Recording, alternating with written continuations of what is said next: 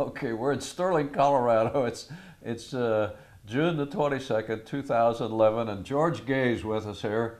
He's a uh, World War II machine gunner, infantryman, and a member of the armed forces that liberated Germany and Europe. And he's going to tell us about his experiences in the uh, armed forces uh, during that time and anything else he wants to tell us. So we can do that, can't we, George? Sure Yeah. Okay. Okay.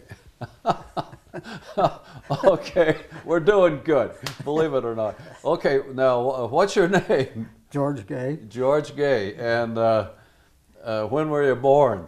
November 3rd, 1925. 1925. Do you know your service number? Yes, Let's hear it. 37739452. Three. Okay, there's. We've. n- I've never asked a guy yet about his service number. They all know it. Oh, yeah. Oh boy, God, they. That was required. Oh yeah, you need to know that, didn't you? Yeah. So uh, that's when you were born. Where were you born? I was born in Fairfield, Nebraska, south central Nebraska, close to Hastings. Near Hastings. Okay. And uh, so were you raised there as a Yes. child, or Yes. how, how did that go? Were you on a farm, or what happened? No, no, well, our home was at the very edge of town. We had two and a half acres, so we was kind of farmers. Over the back fence was Yeah. farmland, but my dad was in the poultry and egg business, and he run his business from home. And but we had cows and the farm animals and Yeah. lots of chickens. Did you have to milk the cows? Oh yeah, Good farm boy. Yeah, yeah. Even though we didn't have vast acres, uh, we tried to do too much on too little ground. Yeah, that's right. Well, now, did you have any brothers or sisters? I had a brother. He was older than me. Older, uh huh. Did he go in the service? Yes. He did too, huh? Yeah. So, uh, how did you get in the service? I mean, uh, you were in high school there, or were you, or something? Yes. Well, uh, Pearl Harbor. I was in high school, Okay. and uh, the consensus of the local opinion then was it's these people went to Hastings, bought something in the five and dime, made in Japan, was broke by the time they got it home. Right. So they all thought their war machine was going to be similar, Yeah. but it wasn't. No. Uh, and you know they they'd ask me how old are you, George? And I said, well, I'm 16, and uh, uh, oh, it'll all be over. You'll never get in it. Well, that was wrong. Uh, I had to register uh, on my birthday, my 18th birthday, When you were 18, you registered for the draft. mm-hmm. Yeah. Okay. and uh, if I remember correctly, that was on a Tuesday, and Friday of the same week I had my call. Really? Yeah, they, they didn't were, even, your signature didn't even get dry, did it? no, they, uh, well, things weren't going too well in the, in the war. That was 1943, Right. and uh, they needed men pretty bad, and they, they kept dropping the draft age. Right. And of course, 18 year olds was prime crop. Right. So you so you got drafted when you were 18 into the army, Mhm. and uh, where did you where did they what happened to you then? Did you uh, Well, have to go Yeah, somewhere? Yeah, or? yeah, the, well, but had to go to Omaha for the pre-induction physical, yeah. and if you was warm, you passed. Right. There's 21 of us that went on this bus. 19 of us passed right away, and they, the other two, they set them by the stove for a couple of days, and they warmed up and passed. And they finally got them too. huh? At uh, the, uh, but the reception center was Fort Leavenworth, Kansas. Okay. and you go there and of course that's where you get your service record it had a big old blue stamp infantry before they ever put my name in it i mean they wanted infantry and so you was in the infantry and uh, then i went for basic training in uh, camp fannin texas and that was a, a new camp it had just been bladed off. The tar paper shacks, no laundry facilities. Uh, uh, pretty pretty tough going there. Yeah, crude. Yeah. and We had some mighty mean sergeants there. Did you? Mm-hmm. were they were the sergeants uh, old army sergeants or were they? Uh, It was all uh, well. In the company I was in, we were kind of divided up into five barracks, and uh, the oldest guys was in the first and went on down. The 18 and 19 year olds was down in the fifth. We was the furthest away from anything, I see. but uh, that was the way we was divided. And of course, when they had extra details, they always picked the 18 year olds because the older guys would talk back to them, you know, Yeah, tell them go to hell. uh, we couldn't do that. yeah. So, uh, Couldn't get away with that. no. So, uh, uh, basic training, I don't remember whether it was 13 or 17 weeks, but it was very rigorous. Uh, I did qualify for the expert infantryman's badge. That's like the combat uh, infantryman, infantryman's badge, except it doesn't have the wreath around it. Right. The nice part about that, uh, I mean, we were beat into physical shape, whether you wanted to be or not, but it paid five dollars more. Oh yeah. And of course, later on, when you got the the combat uh, infantryman's badge, uh, that was ten dollars, but you didn't get both. The- okay. One or the other. Mm -hmm. But you had to be in actual combat to get that. Uh, Oh yeah, Get that wreath and everything, Mhm. isn't that right? Mm -hmm. Yeah. So that was quite a thing. yeah. Yeah. So uh, so you were in the Texas camp, Mm-hmm. and uh, you guys then what happened to you then? I mean, how did they? Well, on our uh, last day of our basic training, we come in from the field, and uh, on the bulletin board was everybody's name. Uh, PEO Baltimore for shipment to uh, a replacement depot in Europe. Okay. And, uh, you know, that, that was kind of a shock. I mean, pretty new to the Army, and here you're going uh, as a, to a replacement depot, which was not a good place for 18 year olds to Yeah. be. Uh, but the next morning, uh, when we got up, uh, went and looked again, and all of us guys that were still 18 was lined out. We were scratched.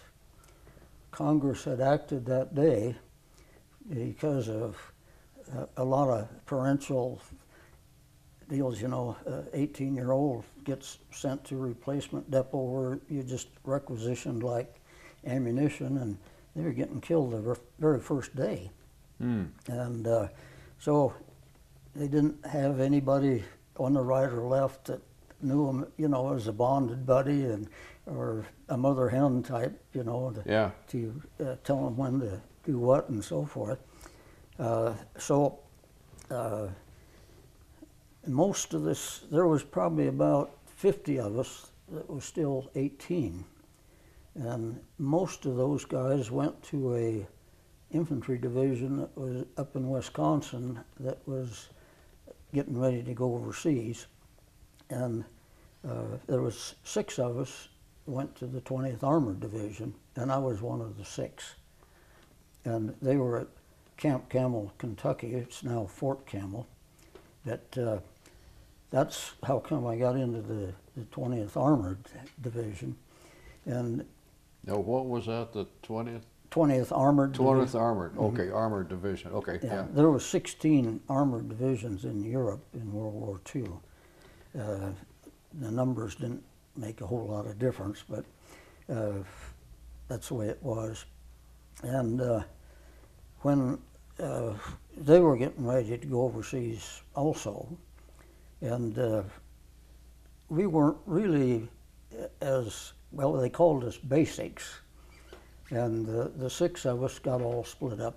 No two of us went to the same place, but uh, I had a real close buddy in the six of us. He did get killed in Europe, Oh. and uh, uh, that you know uh, that really hits you, you know. And uh, I always felt they had mixed the two of us up. And at one of our reunions, many, many years later, I was able to prove that they had mixed us up. Mixed you up, is that right? Mhm. So uh, I think God had a hand in this.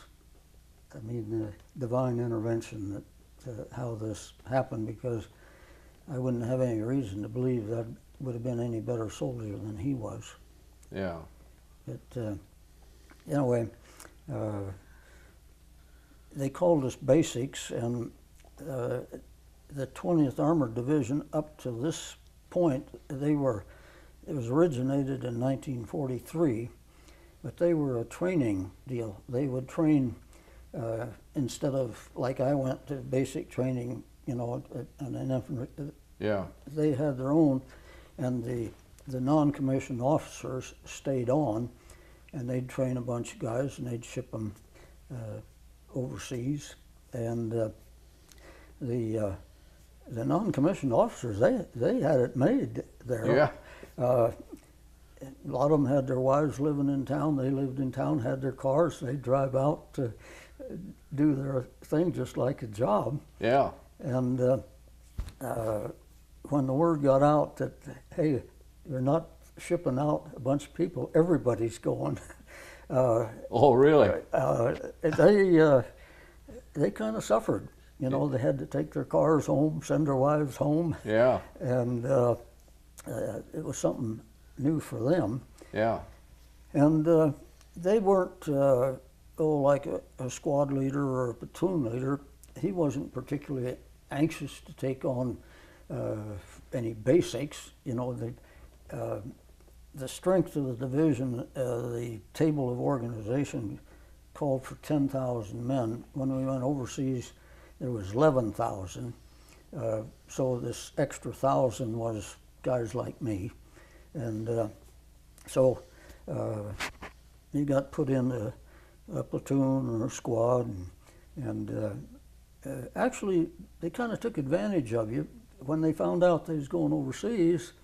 Their regular guys that had been there, their people.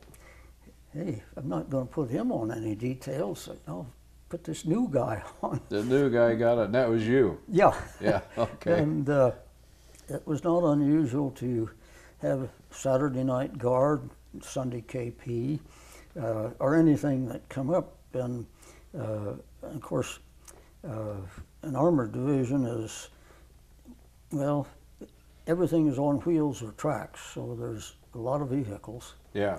And of course, the, the motor pool, and, and of course, a lot of guns. And uh, as the details would come up of what they needed, uh, I could count on, I'll be sent on that one. I got sent down to the arms room, which was in the motor pool. And uh, the armorer and his assistant, they were nice guys. Uh, it was kind of a good deal to be working with them. We had a lot of work to do.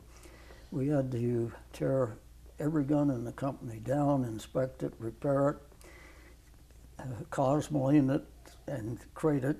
Uh, everything but the rifles. uh, You know, any any gun that any, we carried our our guns onto the ship and so forth. But uh, there was a lot of work involved, and it was long days. Uh, start early and work till about 10 o'clock, get back to the barracks and find you going on guard duty at, at midnight. Uh, Oh. so uh, apparently these fellows, they liked my work and they said, uh, you know, Sergeant Bauer's going to kill you. And I said, I ain't going to let him. Uh, he says, you know, we can stop that. If it's okay with you, we'll just call for you every day. And he won't be able to touch you for all of this crap that he's getting you involved with. Oh, yeah. So uh, that was a good deal for me. I got off of guard duty in KP. Yeah, right. uh, I put in a lot of hours, but it did give me an opportunity to uh, learn virtually all of the names the guys in the company. There's about 250 Yeah. because you had the gun that they had the serial number and you'd match the names and so forth. So uh, by name, I got acquainted with a lot of people that I wouldn't have otherwise Yeah. uh, got acquainted with. And uh, so it was kind of a foregone conclusion that once we got overseas, I'd stay with this, the armored, Armored. Yeah, armored division. Yeah. well, Armored. armored, uh, well, the, the armorer and the assistant, you know, taking care of the guns and so Yeah. forth. That only lasted a few days. We got a lot of work done, but uh, a few days later, the captain had us all fall out, and he says, uh, "All of you basics fall out." There was 20 of us in the company. I was standing fifth in line of, of 20, and of course, I'd had old line company infantry basic training, so I knew the, the makeup. And uh, if you go one th- through five, you know, U five to the first platoon, U five to the second, third, and fourth. That was machine gun squad, and I, I did not like the machine gun in basic training. That uh, and I thought, well, uh, we got to run across this area to get into the platoon that you- you're assigned to. And I thought, I think I can make it to the fourth squad, even though I'm in the fifth. I can run faster than this guy beside me. okay. So we, we take off on a mad dash to go to the platoon that he was assigned to. And I was ahead of him maybe a couple of steps, and about that time he fell, and the, the mud in France is greasy and slick. He just slid right into the fourth squad. So I, so Slid home. Huh? yeah, so I ended up uh, in the fifth squad, the machine gun squad. I was number 13 in the squad. Thirteen. Oh boy. And uh, the squad leader, uh, staff sergeant, uh, oh, he was a tough looking guy. He was an alcoholic, and he uh, said, uh, You know, we don't need you. I said, Good, I'll go home. Oh, like hell you will. Yeah. So he says, You're just going to be an extra rifleman, and uh, your job will be watch out for me and uh, maybe keep an eye open for liquor if you see it for me. That was going to be my job, be his bodyguard and so forth. Well, uh, I don't think we'd gone any more than two weeks and we, we lost our platoon sergeant. And uh, so they gave him the platoon. Well, That was overseas. Mm-hmm. yeah, so so did you did you go overseas on a ship? Is that it? You shipped over. And where did you land in Europe? La Havre. Huh? Le Havre. Le Havre. Okay. They, uh, So see, we missed the invasion, right. and uh, So you were there after D-Day and, Right. and all that stuff. and uh, Le Havre had been captured, but it was all blown up, Yeah. and uh, I got terribly seasick. Uh, Fifteen days going On over. that ship. Yeah. It it was pretty rough water. There was thirteen ships in the convoy, and I never seen any of the other ships until we was a day from France. The water was It was so rough and foggy and everything. yeah, and of course they zigzagged, and we uh, we did have a submarine scare uh, on the last day. It was getting close to France. Yeah. And uh, it was then when I seen other ships, and I, I was amazed at how fast that Navy destroyer could cut around us. Around. Yeah. Uh, they were throwing a lot of depth charges off of this. It was a little banana boat that we went over on. Was it? Uh huh.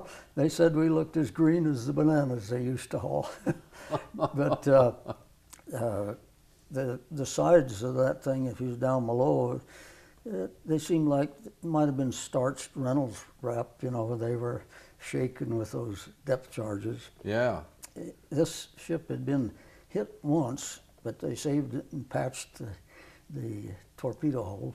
Oh, really? And uh, but uh, the uh, the Navy claimed they got a kill on this submarine. Of course, we- we didn't know, Yeah.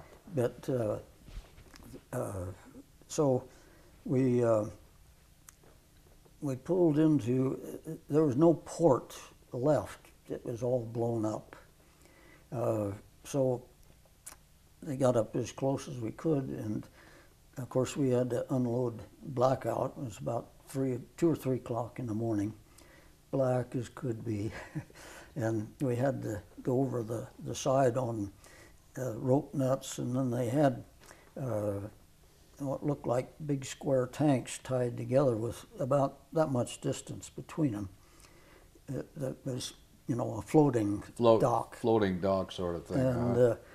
uh, uh, after being sick, and I crossed the Atlantic on maybe a dozen soda crackers, carrying everything we owned, going down that uh, that rope net. I thought, boy, I'll never make it. I'll be a grease spot at the bottom, but I did. And uh, of course, uh, totally dark, couldn't really see anything. And our captain uh, was down there and he uh, pointed us in the direction that we was to walk, and eventually we'd come to ground. And, and uh, uh, I turned around and started going, and some other captain came up, and he had one of them long flashlights. He got it right up in my face, and he turned it on. yeah, Oh, you couldn't see anything. yeah. I stepped between On one of those cracks. uh, with one leg. Yeah. I went down so fast, my steel helmet was still up here. It come down and hit me on the head, Oh my God. and my head was against the the steel deal. That uh, I very distinctly remember that helmet on edge rolling, and it went down the next one, like glug glug. Yeah. And uh, so uh, all I had left on my head was a little little cap you wore under your helmet. Had no helmet, and uh, uh, Captain Joe he he come and picked me up and he asked me if, if I was hurt, and I said no, my my leg is a little scraped from the top of my boot on up, but I'm okay. But I don't have a helmet. He says, don't worry about it. We'll get you one. Well, we started walking, and- and we walked till oh past dawn. And uh, in this walking, they would pass stuff up from the rear, and I seen a, steel helmet and a liner coming up. And I thought that can't be mine, but you know you had to pass it to the guy ahead of you, and Yeah. and I looked in that thing. Last four numbers of my serial number and my papers in the lining of the. Hat or the So helmet. I don't know. I have a suspicion that maybe Captain Joe took that other captain by the ankles and said, "You get that helmet up." But uh, I'd never ever heard a, captain talk to another. He grabbed him up here by the neck, nearly choked him. Oh. And he said, shine that light. And another one of my men, well, he fairly well informed him where he'd be wearing that flashlight. Got after him about and it. Yeah. uh, so um, we had uh, we had good officers. Did you? Well, that's that's helpful. Yeah, and uh, so uh, about sunup time, they picked us up with some trucks. So we weren't walking anymore, and uh, we went to, oh, supposedly a, a safe area, and we'd, you know, get the rest of our equipment. See, uh, our vehicles were predominantly half tracks. Okay. We did have some six by sixes and jeeps, but the half track was, you know, what the individual squad would have. In other words, there'd be 12 of us to this particular half track. And uh, Those half tracks had a what a machine gun on them or something like that. ours had a, a mounted 50 caliber uh, machine gun. Yeah. And uh, our our machine guns, we had two uh, 30 caliber air cooled, and that was what uh, I ended up with. Uh, I, this extra rifleman bit didn't last, and uh, in this squad there was a fellow that he had been a sergeant and had been busted back to a private, so they give him his stripes back, and he took over the machine gun squad. So uh, he was quite a talker, and he says, "There are going to be some changes here," and he started rattling off, and I heard this. Gay's going to take gun number two, which was one of the 30 caliber, and I, I don't want that machine gun. I don't like machine guns. I'm, I'm satisfied with a rifle. And he says, uh, You will take that, or I will court martial you. Oh, told you that? Mm-hmm. Yeah. And I says, Well, if I have to take it, you'll have to tell me why. He says, You want to know? I says, Yeah, that's what I asked.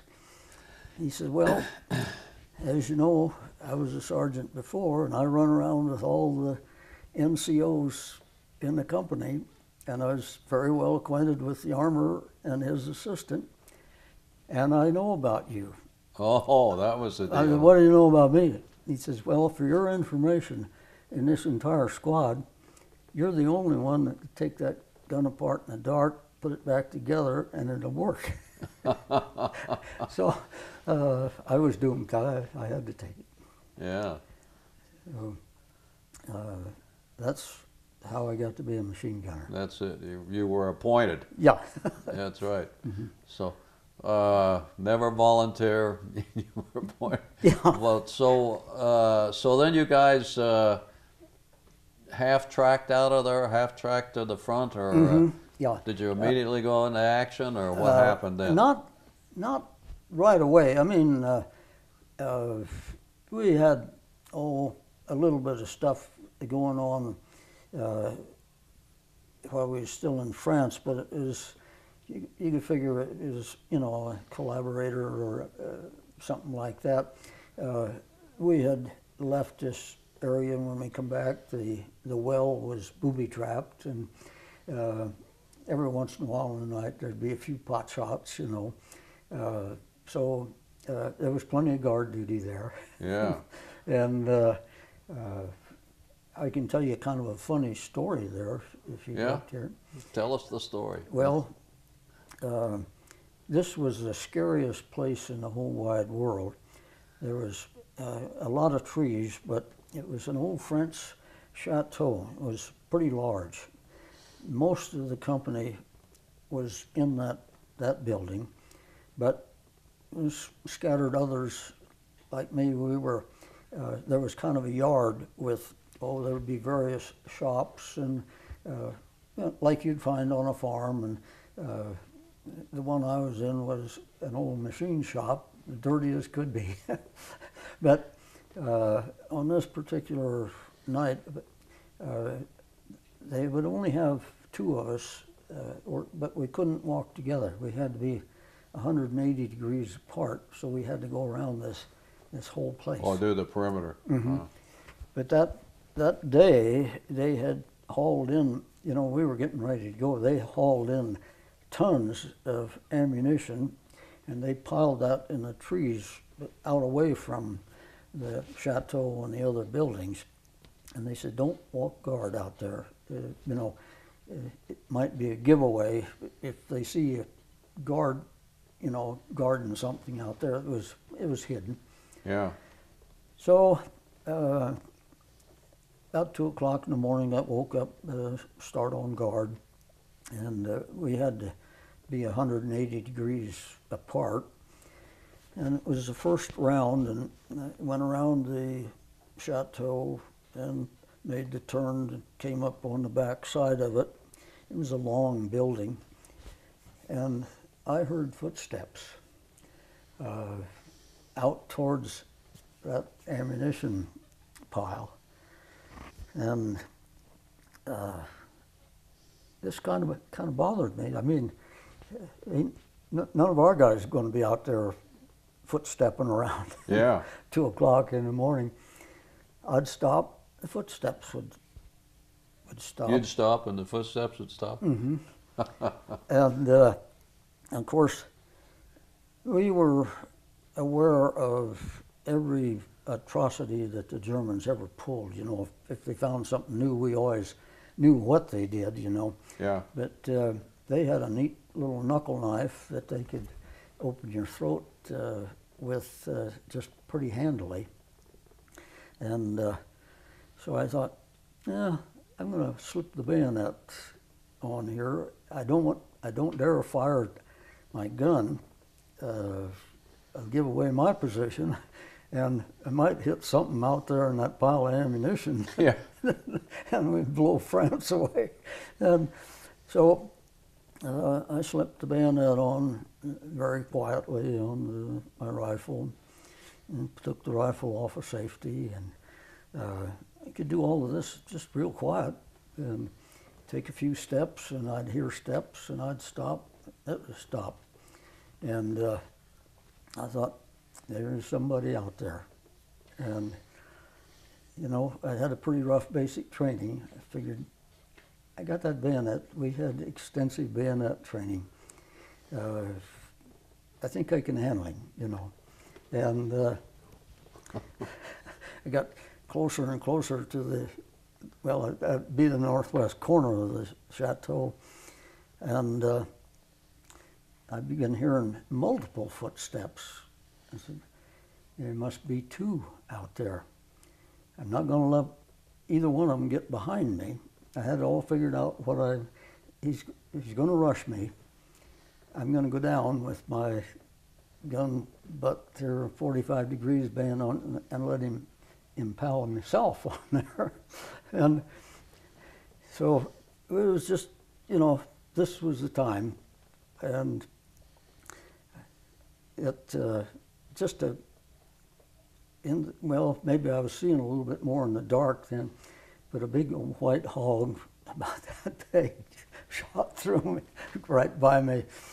A great big what? Hog, Oh, a hog. Oh, a hog. yeah.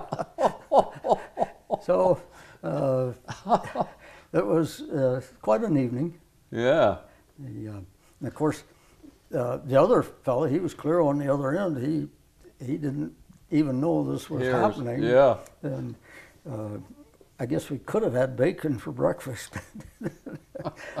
but uh, that was kind of a funny, it was just dead serious at the time. Oh, yeah. Well, you just don't know, do you? I mean, No. that, that's fearsome. Yeah. Yeah. And uh, the, uh, oh, I remember uh, Easter, uh, Chaplain found us, and we had uh, Easter Sunday on Saturday. Uh, And uh, Sunday we kicked off a big drive, and I guess that drive kept up until uh, the war was over. It, uh, uh, we went uh, into Germany uh, close to Aachen. When we were about eight miles from Aachen, I seen one of these uh, daylight air raids uh, with the bombers. There were so many in the sky that the ground actually shook. really? Yeah, and uh, those guys did quite a job on on Germany. They kind of tore. Now, up- you're talking about Allied planes or, Yeah. or German planes? no, uh, Allied planes. Allied. Okay. and uh, as we went on, uh, we didn't run into uh, too much stuff from the Luftwaffe, the, the German era Yeah.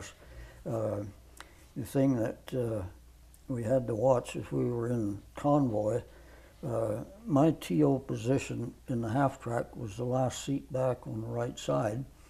My job was to kick the latch on the back door and be the first out with a machine gun. But being at the at the back, you had to keep an eye peeled for any German aircraft. They like to get at the tail end of a convoy and then machine Yeah, gun come down. This, uh, yeah. machine gun down the, the Right. and of course, it's your job to holler at the driver, you know, uh, get off the road and get at a right angle.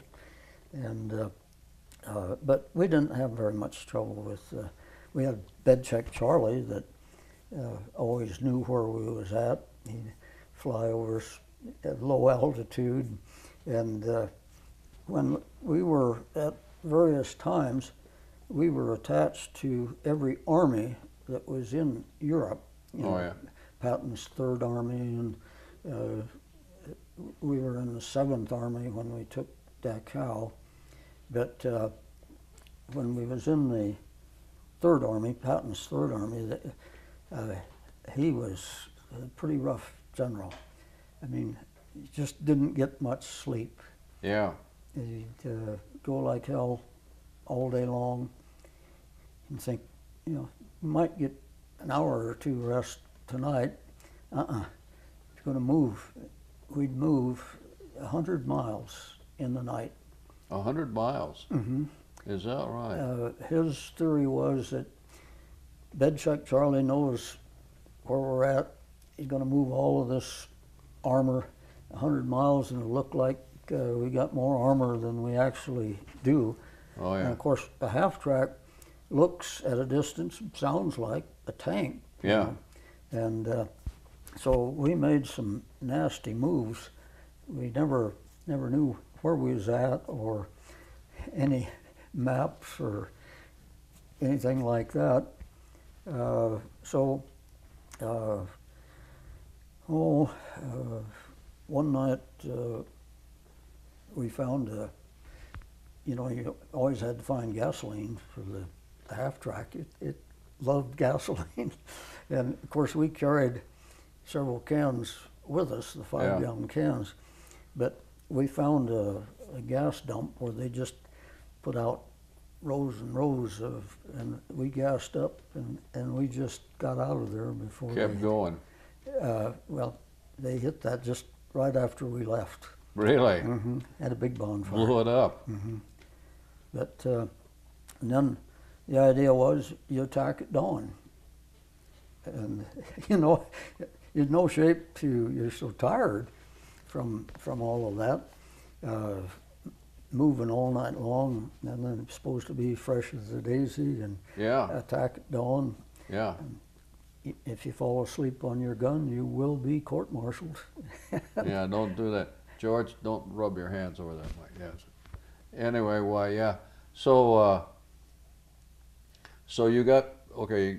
You were you were advancing rapidly, hmm and was that in Patton's army, so to speak, or Well, in, in every one that we was in, uh, I mean, we'd be attached to, to one army. various ones? Yeah, but uh, about the same thing uh, with, uh, uh, we were moving and uh, we uh, maybe moving too fast for our own good, you know. There's, you move too fast, you can, you can get cut off. Yeah, you extend over your supplies. Mm-hmm. Yeah, that's what I understood. That part of that advance, that real fast advance, ran out of fuel and stuff like Yeah, that, and there it was a it da- problem. It was dangerous. Yeah, And of course, uh, if we were in a, a column of half tracks, uh, we, we generally tried to use roads, but sometimes there was no bridge or yeah, uh, some of this was field work.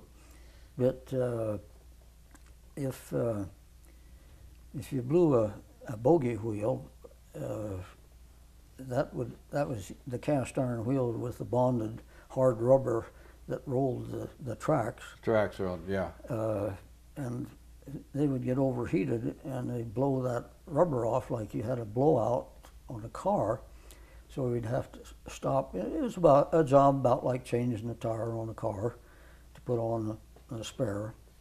put Yeah. on a new wheel or yeah, a new. yeah, we had uh, one or two with us all the time, and uh, but uh, you, you drop out of the column to do that, Yeah, and then you, you got to catch up, you know. So you you Yeah. don't uh, do anything but hurry. yeah, And maybe they only went a half a mile, pulled into a forest or something, and we go zipping on down the road. We'd find ourselves out by ahead. yourself. Yeah, ahead.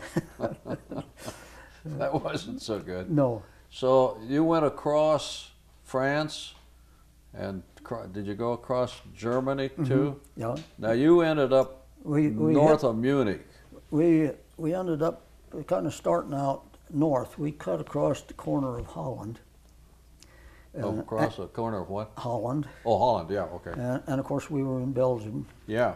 And uh, after that, we we went more to the south. It was kind of on a old pattern like he's going to Munich. you know. Yeah.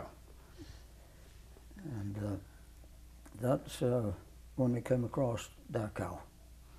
Okay, yeah. And uh, now, did you did you have a lot of? Uh, I mean, how did you have a lot of fighting in there, and uh, were Well- the Germans? Uh, Uh, I would say uh, most that we run into was pretty pretty light resistance.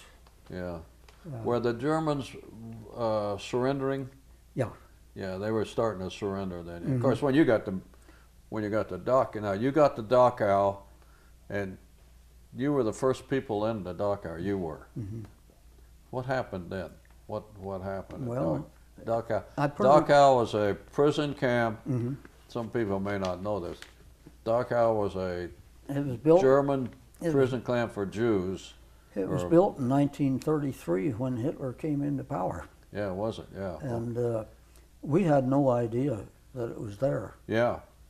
But to to get on us, I pretty have to start with the day before.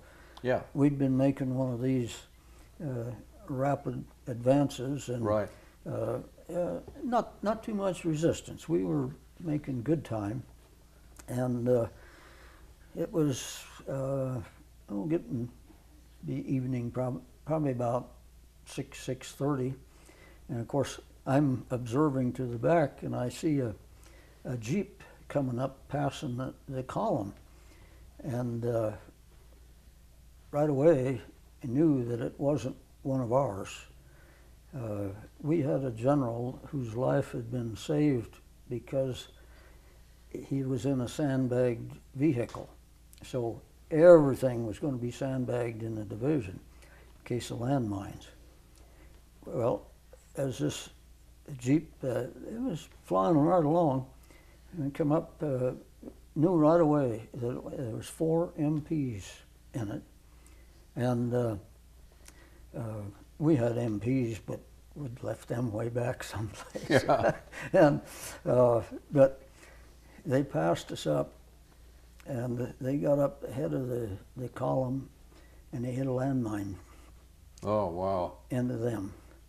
Well, of course, that stopped the column, Yeah. and uh, knew that we were in mined territory. Right. So uh, they decided that uh, we'll pull off of the road and we'll dig in for the night. And uh, we, we were in a peat bog was where we was at, and, and of course, digging a foxhole with that little belt shovel is almost mission impossible. Uh, do a prone shelter that just gets you below the surface of the ground, and you're so tired, you know that. And of course, I was on guard duty that night too. but uh, it was determined that uh, our, our half tracks could do, go no further. Uh, a half track was an expensive vehicle, had very little armor. Uh, sides was only about three eighths of an inch. So I was going to leave the, the half track backs, uh, call up the tanks, and we was going the rest of the way on the back of the tank. A, With Uh, tanks. a uh, tank and infantry uh, marriage type of thing. We was going to ride the tanks. So there was an awful lot of confusion that day. And uh, at that particular point, we were about 45 miles from Dachau, but we didn't know it. you didn't know it, yeah. And uh, so. Uh, How far were you from Munich then? I mean, was were you Oh, uh, further than that? uh, Munich would have probably been about another 20 miles. Okay, yeah. And it was pretty close. Mhm. Yeah. And uh, so uh, we loaded everything, you know, onto the tanks. Uh, I couldn't do it today if I had a stepladder, but I walked up the back of that Sherman tank carrying a machine gun and several boxes of ammunition. And I had an M1 rifle. I should have had a carbine because I I was a machine gunner. The, you know, they had a lighter. It was about half the weight of an M1 Yeah. but I still had the M1. They give us plenty more ammunition, and I think they shoved about uh, three cans of C rations in, in your backpack and climbed up on that tank. And I was on the, the third or fourth tank, and we took off. And the, the first one he did a lot of sashaying around, and he, he hadn't hit a mine, so everybody stayed in the. Kind of his tracks, yeah. And uh, we ended up getting back up on the road, and they were running those tanks just absolutely full bore wide open. And uh, they'd uh, they use a lot of gas, but they would they would always get up with gasoline for us, and a six by six with five gallon cans of gasoline. And of course, we'd all grab a can of gasoline and open it and dump, just fling the can off. They'd have to pick them up uh, after we and on the road again. And uh, the tank I was on blew a, a bogey wheel, but you didn't stop to change it. Uh, it'd be like running on a flat. Uh, we just kept going. And uh, uh, the tankers were pretty nice guys, you know. They'd open up the hatch and they'd talk with us. And But you were sitting on the outside. yeah, Yeah, and, right. And of course, How many guys were on a tank, would you guess? I mean, when you had your machine gun on that. And oh, there, there was probably about ten of us guys. Ten of you riding on the tank. Mm-hmm. Wow, okay. and hanging on for dear life. Yeah, sure, of course. And uh, uh, of course, they had radio connections with in between tanks. Yeah, So uh, they'd, they'd say, "You guys be ready. There's something coming up," and they'd latch. and uh, but uh, in that day, we've seen a lot of things. Uh, the uh, I thought I was in the wrong war at one time. The Germans were apparently running out of everything. They had an old uh, World War One horse-drawn artillery pieces, and uh, that's no match for an armored column. yeah. I mean, they were, they were Wipe them out. and uh, so What caliber were the guns on those tanks? What were those? oh, uh, they had machine guns and uh, Would they have 30 caliber machine gun? yeah, and uh, and then the, the big gun I think was a 76. Millimeter. Mm-hmm. Yeah. Just go ahead. I just just curious. And uh, so uh, we just kept going and going. And uh, that afternoon, uh, we started seeing fence like that ain't what you keep cows in with. That was the fence at Dachau. Around that prison. Uh-huh. Yeah. And it, it was a big place, and it you know had several factors to it. So uh, there was a lot of wild claims of who was there first and stuff like Oh that. yeah. And who went through the gate. yeah. Uh, uh, I don't think we waited to get to the gate. I think that we just went through the fence. and- Yeah. Just plowed through, huh? and we pulled up to the to the gate area eventually, and we dismounted.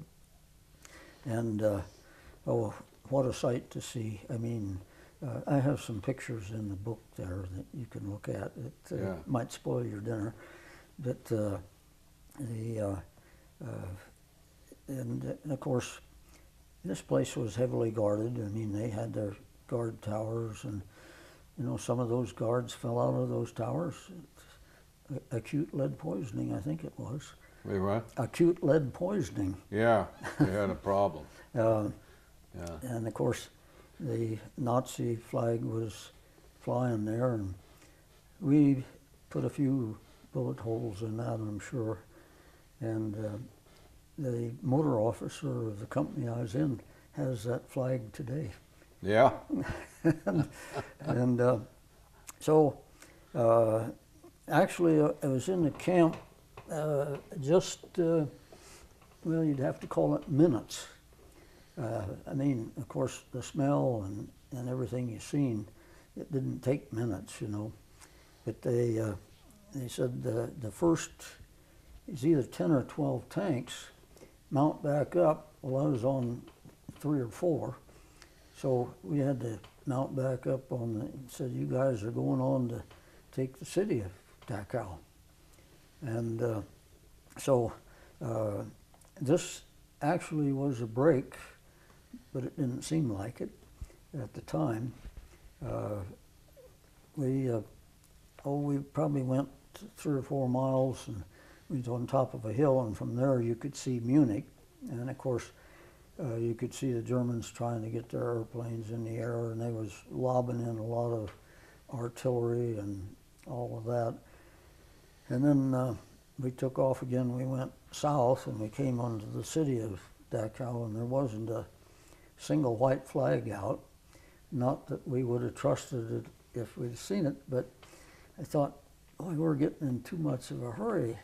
I wouldn't do it this way. Take all the tanks right down the street with the infantry on the outside. You fly on a tea kettle. And uh, my idea would have been take the tanks down the street, but split the infantry in half. Let the guys walk behind. Or, Well, uh, you know, you could cover the other side, you Yeah. know, because there were two and three story windows there. yeah. And uh, you expect to hear the tinkle of glass and the machine gun uh, out. And they had some terrific machine guns. Uh, just, uh, they could fire 100 rounds, just like a big burp.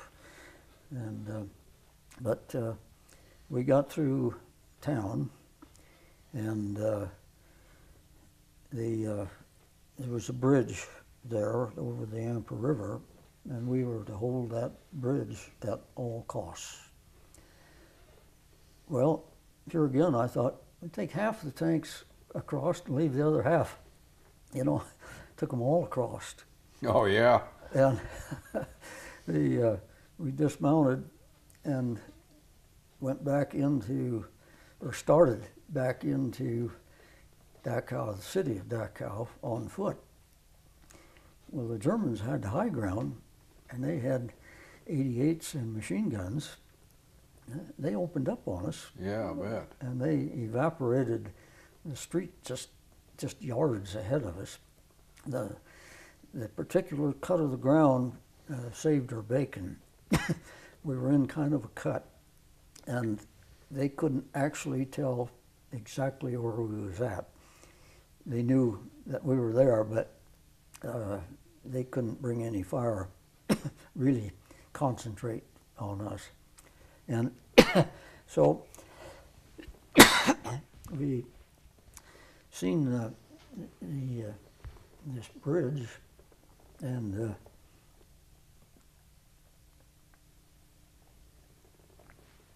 uh, I I think truly we would have held that at all costs. But uh, we seen this. It looked like a real substantial, big, tall house, kind of up the hill. And we thought, "Yeah, if we get to that house, we might be able to see where they're coming from and do something about it.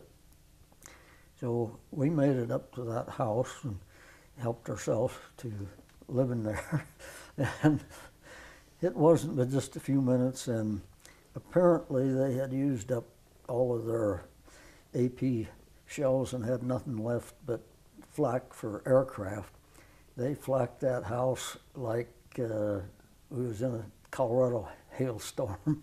Is that right? Oh yeah, we realized that we couldn't uh, hold there, so uh, we made our way back down so we could be close to the bridge, and uh, uh, we did hold the bridge.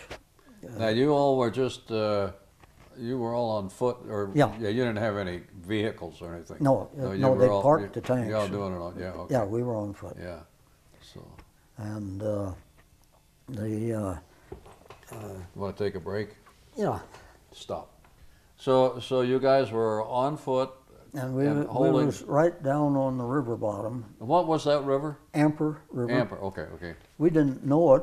We- Yeah. We, drank water out of it, but a couple of weeks later, we found out don't drink water out of the Amper River. It can't be purified because of the prison camp. Oh, was that bad? hmm Oh man. But uh, we drank it, Yeah, sure. and uh, but uh, it wasn't until after dark that I realized that I really got a break there.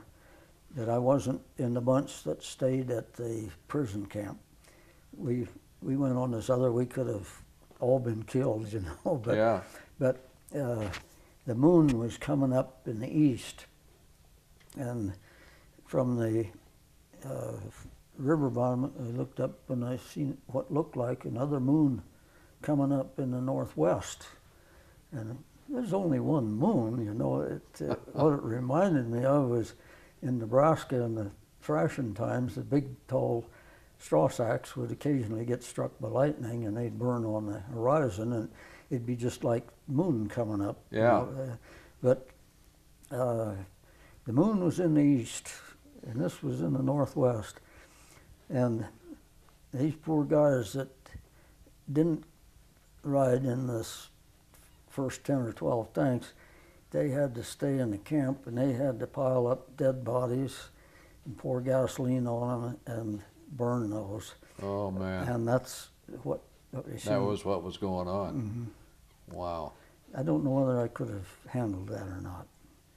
I mean, Well, that was pretty rotten, oh yeah. putting it mildly. That Yeah. uh, those prison camps, you know. And, But uh, we we held the bridge all night, and uh, they were on the up on the hill, and every once in a while uh, they'd rip off some rounds with their machine guns. They'd fire tracers, and they'd be firing about oh eight or nine feet uh, higher than our heads.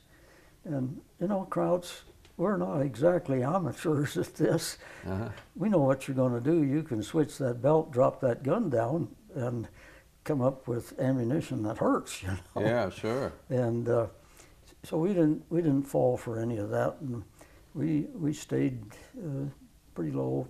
And about four o'clock in the morning, our artillery, which was behind us, uh, they lobbed some big stuff over us, and that shut down uh, all the stuff we was getting from Cool them. that off a little Yeah. bit, huh? And uh, and then uh, we were uh, on the road to Salzburg. We took Salzburg, and of course, we knew. Uh, we knew the Germans knew that we knew, and vice versa. A lot of art and all of that in Salzburg, and I think they got the drift that the war was just about over. Uh, Uh, in fact, there was only 10 days left. You shoot at us, we'll just disassemble Salzburg for you. It was taken without a shot. So that was kind of unique. yeah. So there was a, they they didn't attack, and that's things were getting towards the end and everything. Yeah, that, well, uh, the, the day that we were making this big drive on uh, Dachau, uh, they were surrendering like nobody's business. Yeah. if they had a truck, it would be overloaded with, and they, they knew enough to put a white hanky up, and uh, we'd just pass them like he was out here on the on the They interstate. were going to the back or Yeah. trying to surrender. Yeah, uh, that's something for the artillery to do. They're behind us. Yeah.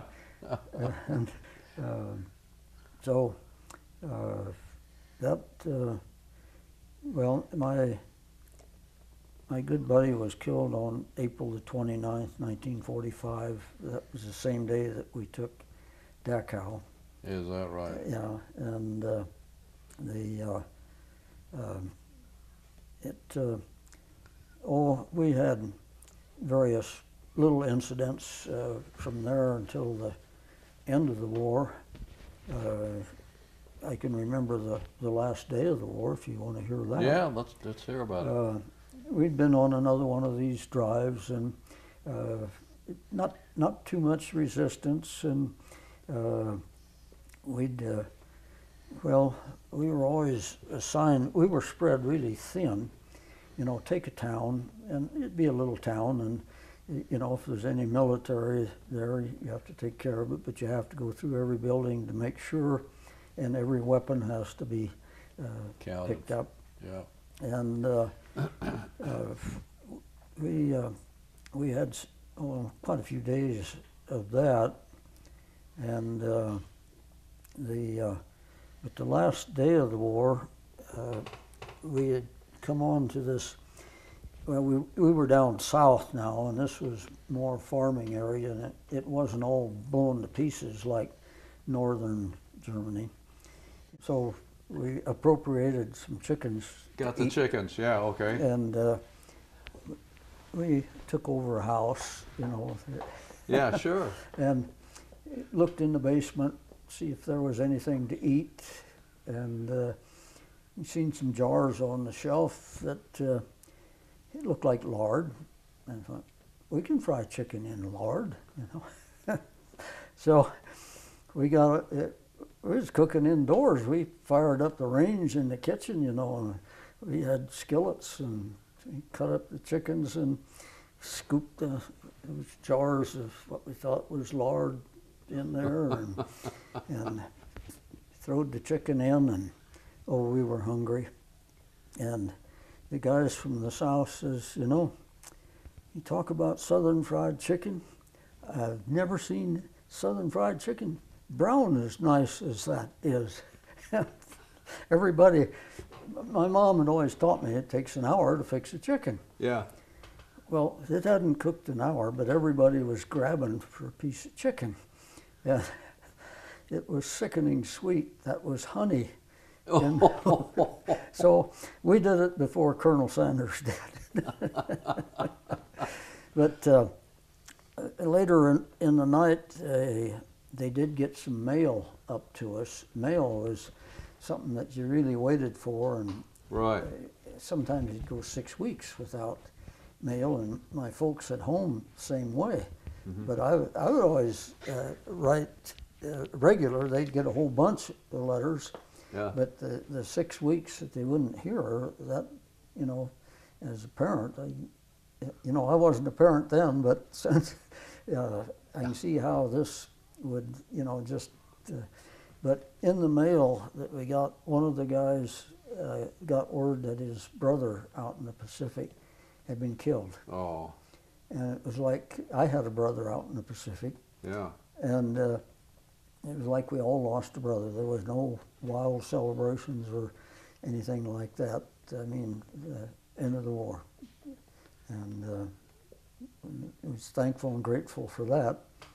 But uh, you know, when this fellow lost his brother, we all lost a brother. You know. Did you? Well, uh, it was like you know, it was like if I would have lost. Oh, if you would have lost your brother, yeah. yeah. hmm And uh, Yeah. so uh, that uh, that was the, the end of the war. Uh, oh, we had some other little deals in, in those last few days that uh, this motley machine gun squad of ours captured a, a, and destroyed a German tank, believe it or not. Really? hmm Uh, we were spread so thin. The night before, uh, so much of our work was away from the company, and maybe you'd go on a, a deal to outpost a broken down tank or something like that, and then from there, you're supposed to find your way back to the company or go do something else. So we were away from the, the company a good deal of the time. Our, our story in this machine gun squad was probably different than anybody else's story. Yeah. And uh, but uh, the, the the day before, they were pushing us so hard. Uh, you know, one squad of twelve guys, and take a town. Period. And no no white flags up. You didn't know what you were getting into. Yeah. But it was always, you clear the town, which takes a little time. You go through every building and uh, Check it out. check it out. Yeah. You think, boy, there's a nice place to get some sleep there. Right. Take another town. and uh, it went that way uh, all day. And then we were uh, crossing a field. Uh, and pretty much all the company was uh, there. And uh, we had one half track in the company that was radio equipped. And uh, he cut us out and he says, You need a machine gun squad. There's a broken down tank on. He give us a general direction. Uh, they're calling for an infantry machine gun squad to come up and outpost the tank. They're afraid they're going to lose it. And uh, so we started in the, direction they pointed, and, they caught us again uh, with the, the radio track and says, You can't go that way. You're going to have to go around that forest because there's, in theory, 500 SS troops right there waiting for you. And In that forest. hmm Yeah.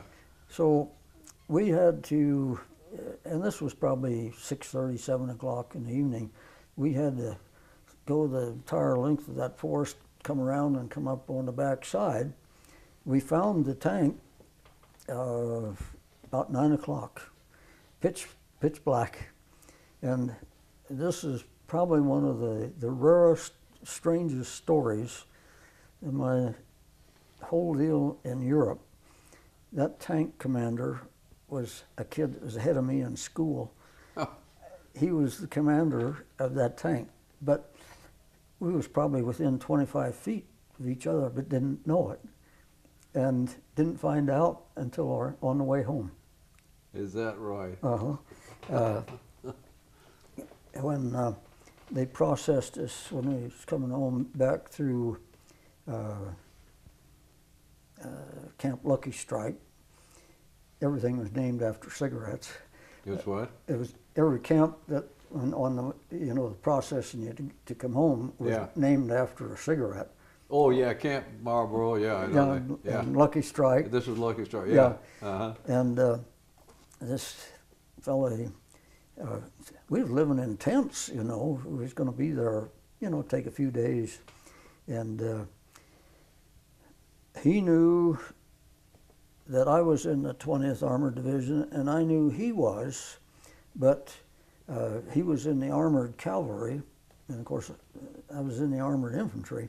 The reason that uh, we knew this, little old town of Fairfield, everybody would go to the post office first thing in the morning when the mail come in, and of course the parents would meet and where's your boy, where's your son, so forth.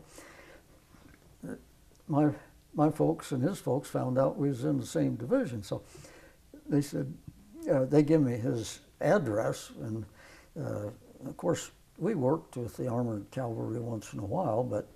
Uh, Never had, you know, all GIs look alike. Yeah. Right.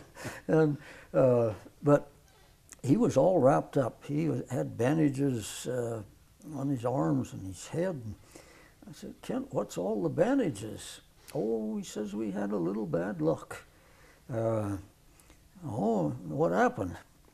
He says, well, start with my tank broke down, and uh, I was afraid we was gonna gonna lose it.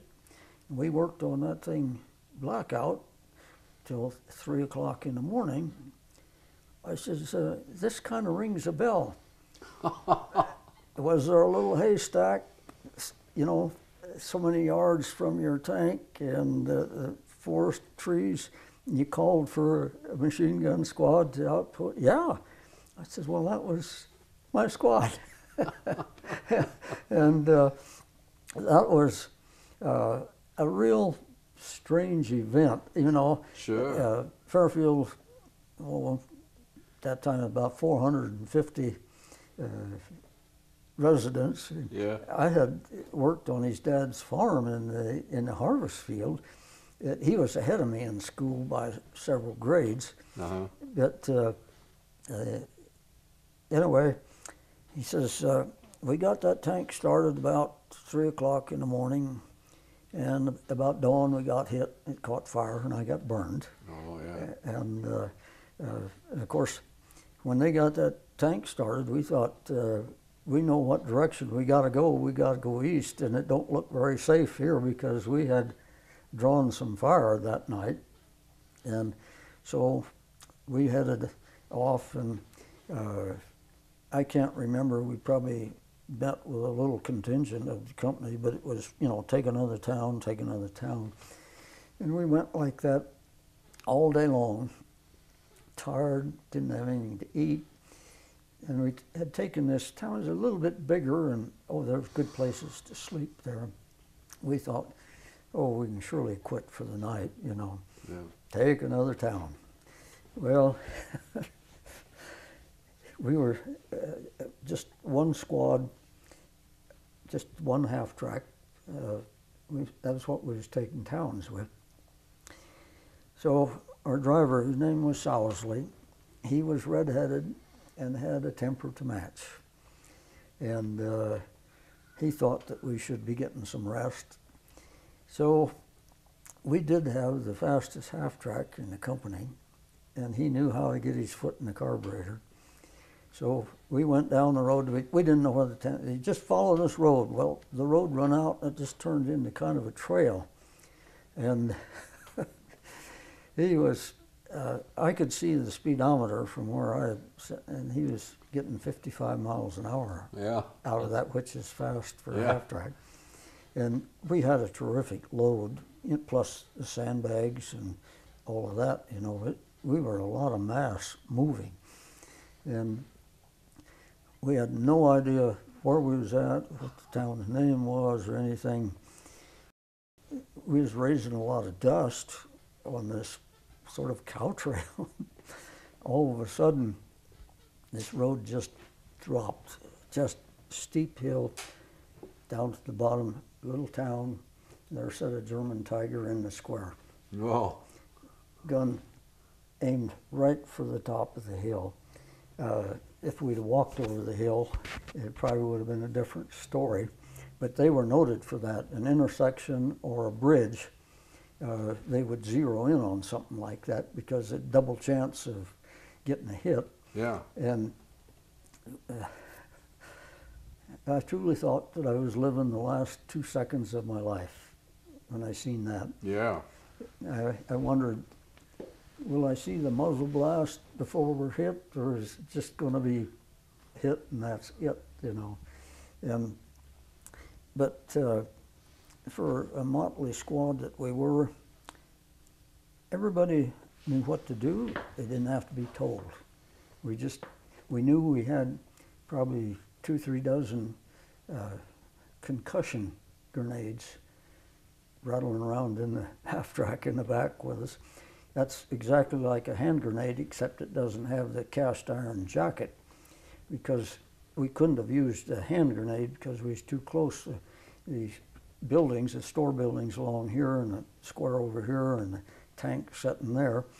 So we'd just be pulling the pins and pitching them out both sides Oh, yeah. it was pretty hard on the glass in those uh, buildings. You know, the concussion will just take, the, just drop the glass pieces. You know, they must have thought that the whole U.S. Army come over that hill when they heard all of that noise. We had caught them out of the tank, and of course with all the mass, we've come down that hill. Uh, nobody had time to look at the speedometer, but if we was running 55 when we dropped there, we was probably going 65 when we got. But we we kind of took out every window uh, along the way, and uh, the first house was a big white house, and I can remember this as we shot by this big German woman's come and spread the, the, the curtains, Yeah. and the glass just fell Dropped. out. she's probably still in the basement if she's still alive. But we had to, you know, it was tempting to just go on, you know, hey, we have to go back and take care of this, you know. So uh, it took us probably a quarter of a mile to slow down enough to, to burn the U. And I figured that gun's going to traverse and they're going to get us yet, you know. It didn't move. We had caught them out of the tank, and apparently they were sick and tired of war. And at that time, the Olympics hadn't had a, a four minute mile. But looking out this way to the field, boots and all, I was witnessing all those guys running the four minute mile. Doing really something. Huh? they were they were headed for home or someplace, and we could have gone with our 50 caliber. There's no doubt about it. But hey, you guys did us a favor. Uh, we better you know, keep Play that it cool too. Mm-hmm. Yeah. So uh, we routed out the, the burgomaster, that's the mayor, Yeah. and he could speak very good English. And uh, he says, I got to hand it to you guys. You're the first GIs we've seen. And, you know, you guys did this right. He says, you could have radioed for an airstrike. We didn't have a radio. uh, and this town would have been obliterated. Yeah. And uh, he says, as it is, uh, we got a few broken windows, but we still got a town and, and we still got everybody there. Yeah. And uh, so we handed him a dishpan. We had an old dishpan and, and we told him we wanted that full of eggs. We're going to go through every building. If there's any military, there won't be. And we're going to pick up every weapon, you go to every chicken house. Oh, nine, nine, no chickies. It's okay. We'll burn your house. we know which one is yours. We had no idea. But we were violating, you know, talking to a civilian, that was a six, yeah, 60 sure. $64 fine uh, to be talking with a, a German civilian. Oh, is that right? Mhm. And uh, we threatened him, which we shouldn't have done. Yeah. And uh, he, uh, so uh, we told him what we was going to do. When we come back, he was expected to be there with a dishpan full of eggs. And we come back. I don't know where he found the chickies, but we had a dishpan full of eggs, and of course we hadn't heard of cholesterol uh, at that time.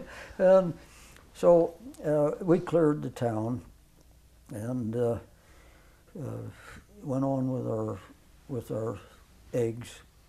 But he says, you know, guys, I did what you asked me. Now he says, I've got to ask you guys a favor. He says, the next bunch of GIs ain't going to be like you. They'll see that tank and they'll just blow this town away. I want you guys to get that tank out of town.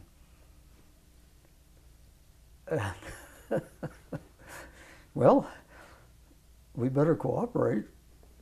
So we hooked the half track onto that and we pulled that tank up that hill that we had. That you'd come down? By the time we was two thirds of the way up that hill, you could smell that clutch and the smoke. But that old uh, half track had a big old white six uh, white truck, you know, Yeah. big heavy duty engine, and geared very low. We got it up the hill, and pulled it out the field, and we had a bazooka, so uh, we knew we couldn't do anything with the armor on it, but we could destroy the tracks, so they couldn't readily use it. But uh, we never we never reported this. of course not. there was a lot of stuff not reported. We know that. Yeah. But that's okay. Yeah. Well, that's good. So, where did you did you finish the war right there, or did Uh, you? uh, uh, yeah, uh, the the day we liberated Yeah. those air fellows, and then uh, they moved us around a little bit. We was in uh, there long enough to qualify for Army of Occupation, but we were scheduled for the invasion of Japan, and that seemed like double jeopardy. Uh, yeah. the uh, uh, we were uh, going to go back to the states rather than going direct to the Pacific. We were going to get a 30-day rest and recuperation furlough, and then to California, and then on out to the Or the Pacific. Pacific. Yeah. And uh, that uh, invasion of Japan was supposed to start about the 1st of November of 1945. And uh, that would have been just uh, totally uh, the pits. I mean, you'd have been fighting everything. They had a lot of airplanes left. Uh, and, and there was a typhoon on top of that. So it, Japan, if you study history, has never been invaded. Uh, a country tried that oh, centuries ago, and they, they, you know, came with their army on the ships, and they had a typhoon, and they lost uh, virtually all their army to the Yeah, ocean. that's right. Mm-hmm. The Huns did that, or was it Attila? Yeah, yeah. So- they had that. uh, you'd have been fighting everything, and uh, it it would have been, well, our, our officers told us, uh, they showed us the map where we was going to go in at, uh, our armored division and another armored division and a division of infantry, three divisions, which would be oh, roughly thirty thousand men. Yeah, thirty thousand guys. Yeah. The Beachhead was going to, was measured in feet. So uh, that uh, that pretty much says it right there that the casualties would have been just uh, horrendous. Yeah. But Harry dropped the bomb. Mm-hmm. We like. Let's uh, let's talk about your medals. Now you you have um, I, I think that this fell there on the on the floor. yeah. Now you had. Uh, I'll go through this a minute. Uh, you had the Bronze Star twice. wow. Uh, I guess. Good Conduct Medal, Campaign Medal, World War II Victory Medal, Occupational Medal, Combat Infantryman Badge First Award. But that means you were in actual combat that uh, when you get that. And uh, Honorable Service, you got the Ruptured Duck, we like, call that. But let's let's uh, stop the camera minute. Okay, okay. Now, how long were you in the service? It was about two and a half years. Two and a half years, uh-huh. So, so you came back to the States, and you were getting ready to go to the Pacific, or at least thought you were, and then we had uh, Hiroshima and all that stuff.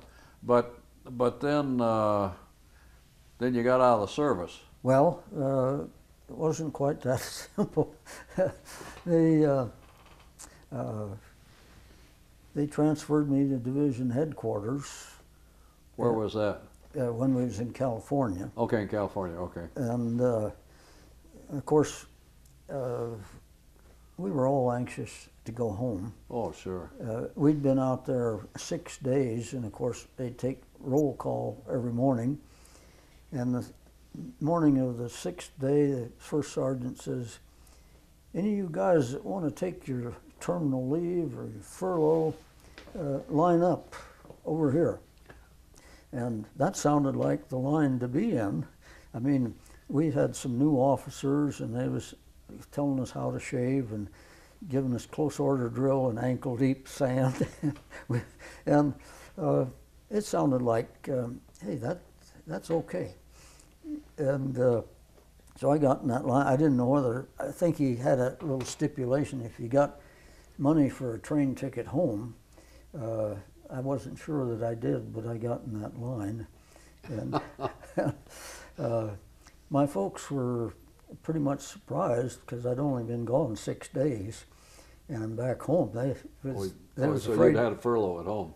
uh, yeah, Yeah. Okay. uh, he had the 30 days at home, Oh, okay. and then we went to California. Then you went to California. and okay. then I come back six days later. They felt that I maybe went AWOL. That's right. So, uh, as it turned out, I had quite a bit of time at home because, in addition to the furlough time, they wanted you to use up your terminal leave time. So I was home, uh, oh, uh, quite a little bit of time before uh, I went back. And uh, when he got back, uh, it was kind of interesting. Uh, our company commander, Captain Joe, he was a regular Army West Point man, and uh, uh, he had a permanent rank of probably first lieutenant. He was a captain uh, then, but uh, he sent uh, a runner around to the barracks and he said he want all of the original guys of the company to come to the mess hall. Come to the mess hall and never seen a big cake in the mess hall and ice cream. he says, I felt we should have a little party. He says, I got news for you guys. I want you to know that I couldn't have picked a better bunch of guys to have been overseas with, and you're all great. And if any of you ever get to Jackson, Mississippi, look me up. I'll bend an elbow with any of you. Uh, I'll be in the tallest building in Jackson, Mississippi, but I'm leaving the Army and I'm leaving tonight. And he wouldn't have had too much longer to go for retirement. Yeah. He, uh, I, I heard from him once uh, over the years. He's dead now, but uh, anyway, he had cake and ice cream for us. and then when I came back uh, out to California, they they transferred me to division headquarters. They was looking at what I was recommended for when I went into the army, which was clerk typist. okay. and uh, so uh, I was supposed to get a couple more stripes on my sleeve, uh, but as it turned out, somebody, his name started with a G, got got those, and they said, "Well, you get it next month." Next month, they declared the no more uh, promotions or anything like that. Froze them all. Uh, they combined our division with the Second Armored in what was Camp Hood, Texas, and it's Fort Hood now. And uh, so I went to Fort Hood, and I got discharged down at Fort Sam Houston. Okay. And it was great to get home. I got home on an Easter Sunday morning, and uh, um, it um, didn't have any any job lined up or anything, and uh, of course my mother was uh, thinking that I'd go back to college, and because I had started college uh, before I got drafted, Yeah. and uh, I couldn't do it. I mean, I couldn't sit down and read a, a newspaper or a magazine. Uh, I had nightmares like you couldn't believe. Did you? Yeah. Stress stuff. Yeah. Yeah. So so what did you do then? What happened to you then? Well- see, you were what, 19 years old? Yeah. 19 years old. You've gone through all this stuff. You won, you won the bronze. I mean, you, you were awarded the Bronze Star and all this stuff. You were a real hero guy. No, not and uh, anyway, so well, we think so. Uh, so then, what did you do then? I mean, you know, you're uh, no spring I, chicken I now. knew uh, I had enough of college before I went. Knew how hard it was. I was Uh-huh. taking a pre-engineering course. Uh huh. I'd always wanted to go to college, Yeah. and uh, uh, I couldn't do it. I knew I couldn't study it. Like you know, small town, we didn't have an abundance of super teachers, so college was hard for Yeah. me. And I Right. thought I can't do that. I better get a job, and so I got a job in an auto parts store, and I followed that uh, line for uh, several years. In fact, uh, when I came to Sterling, I came to be parts manager at Holloway's, Oh, is that right? Mhm. Okay. and uh, then I, I went to the post office. I spent 28 years at the post office, and I worked a couple of jobs at the same time. Yeah. Good for you. So, but then somewhere along the line, you got married. Yeah, yeah, I got See, I've been checking on you. Yeah, I got married in 1950. Yeah. Had a boy and a girl, and I lost my wife in 1984. Yeah. and I was alone for 15 years. And the gal that I married is a widow of a member of the 20th Armored Division. Oh, yeah. He was in the same battalion, but a different company. I didn't know him when he was in the service, Uh huh. but got acquainted with him. Uh, we had a few reunions, Uh huh. and that's where I got acquainted. So you got your second wife you met through her. hmm Oh, that's well. That worked out okay, I guess. Well, I hear she's pretty pleasant. You know, uh, she can she can uh, tell that story just a whole lot better than me. Well, that's good. So, so your career was in auto parts, and you worked for Holloway's, and then you worked for the postal department. yeah, then I I worked uh, at the post office, and I was run the machine shop for M and H Auto Parts when they was down on Front Street. Did that on a part-time basis. So I was a busy kid. I Yeah. stayed out of the pool halls. Stay off the street. Yeah. That's good. Okay. Well, now uh, tell us about. Uh, okay, Evan. Uh, now let's do this. Show have him show us about our medals. So, so uh, stop it. Yeah. Okay. Just point to the medal over there. Yeah. What's that medal there? This is the Army of Occupation. Occupation. Okay. And uh, that indicates you were in Europe or in uh, Europe after the Yeah, armistice or after the war was ended there. I don't know what the time requirement was. No, but, I- uh, Okay. we What's there long enough. yeah? And this, this is a good conduct, Good conduct. Okay. and uh, this here is uh, uh, Can you the, the Just a, American oh, hold on a minute. uh, campaign. And uh, What about the uh, infantry badge there? oh, That's the combat infantry ma- badge here, Bronze Star, and this is uh, Central Europe uh, battle. Mhm. And uh, this is a victory deal, World War II. victory medal. Mhm. Yeah. Okay, that's impressive. And And you say those all came to you one day through Yeah. the through the mail, huh? Yeah, uh-huh. And then this, Well, that's good. this is uh, first thing back in civilian life, the That's- ruptured duck. The ruptured duck. That's uh, what the guys used to call it. Yeah.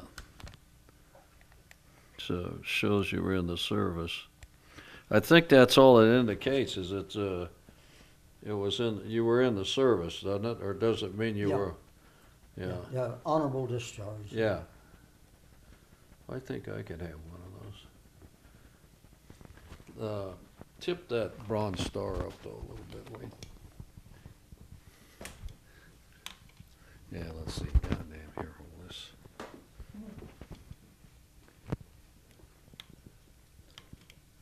Where are we?